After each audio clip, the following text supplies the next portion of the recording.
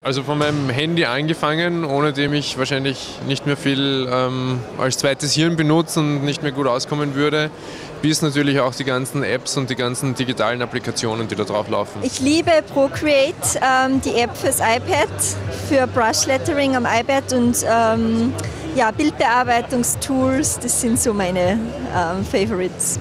Am häufigsten verwende ich Instagram, Facebook und alle möglichen News-Plattformen. Auf jeden Fall mein Handy, ähm, mein MacBook und ähm, ich meine, die zwei reichen eigentlich schon. TV gucke ich nicht, ähm, ja, Autoradio mit CD-Player. SMS, E-Mail und Telefon. Digitale Tools verwende ich meinen Laptop am meisten wegen der Arbeit, mm, weil ich den zehn Stunden lang vor mir stehen habe.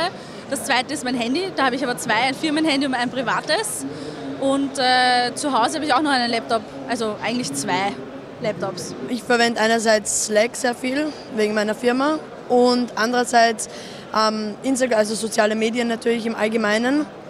Tools verwende ich dann noch Wunderlist ähm, und sonst also genau Facebook, Instagram natürlich, Snapchat, solche Dinge, also soziale Medien vor allem. Also ich glaube, es ist relativ klassisch so diese Instagram, WhatsApp, ja, und, und E-Mail wahrscheinlich auch sogar noch. Das sind so die wichtigsten. Also ich verwende E-Mail, wenn ich aktiv bin, SMS. Ich habe keinen Twitter, keinen Facebook-Account, das glaube ich brauche ich nicht, so wichtig bin ich nicht. Und passiv verwende ich Zeitungen, Zeitschriften online und international. Ja, also die wichtigsten Tools, die ich verwende, sind definitiv Instagram, WhatsApp noch. Ähm, ansonsten eigentlich noch das gute alte Telefonieren, doch, weil es am simpelsten ist.